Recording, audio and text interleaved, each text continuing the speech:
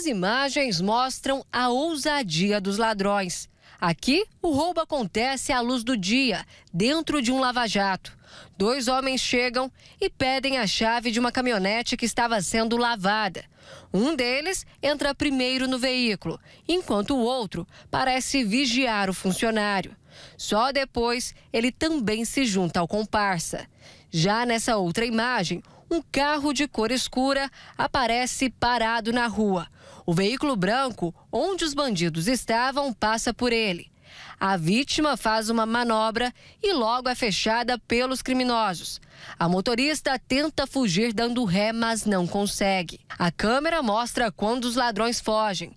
Três mulheres e uma criança ficam a pé, desesperadas. Diante dessas imagens e depois de informações passadas pela Rotan, a Polícia Civil começou uma intensa investigação e descobriu que os bandidos fazem parte de uma organização criminosa que abastece empresários de lojas de peças automotivas na Vila Canaã, em Goiânia.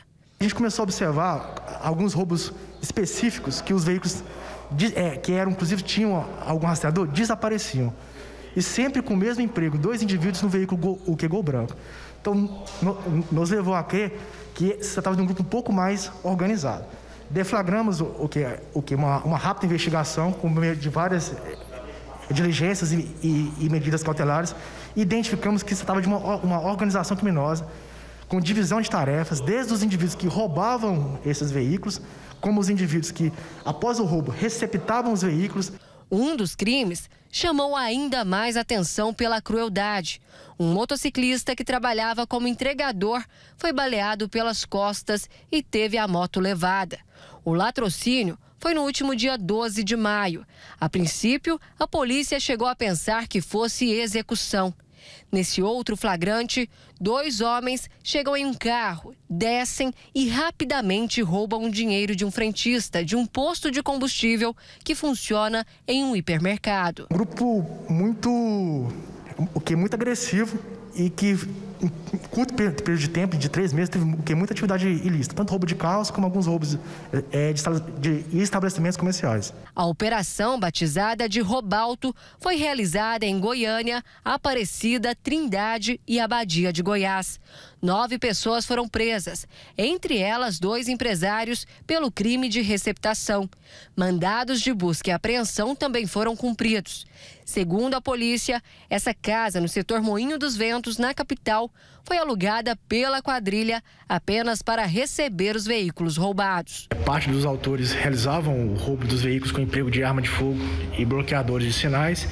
Ato contínuo, traziam para cá os veículos, que eram desmanchados. As peças eram levadas para esse galpão na Vila Canaã.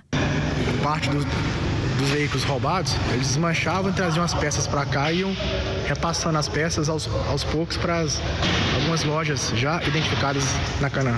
Essa caminhonete aqui, que também foi apreendida, não é roubada, não tem placa adulterada, mas era usada pelos criminosos para fazer o transporte das peças, lá da casa no setor Moinho dos Ventos para o galpão na Vila Canaã. Aquela placa ali de frete era apenas fachada para despistar a polícia.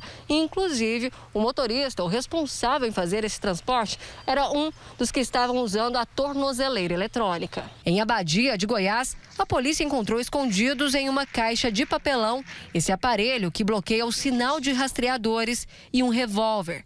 Uma outra arma também foi apreendida em Trindade. Em uma mochila estavam placas clonadas, prontas para serem instaladas em carros que ainda seriam roubados.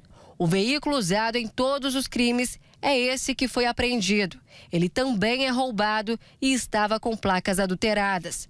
A polícia ainda procura por um dos ladrões e investiga a participação de uma outra loja que estaria receptando as peças. Só acontece porque existem indivíduos que adquirem essas peças sem a nota fiscal, só que essas ações aí a gente vai aumentar aproveitando uma lei nova que é a, a, a lei do desmanche, que obriga a, o, o, esses comerciantes a terem a, origem o que da peça.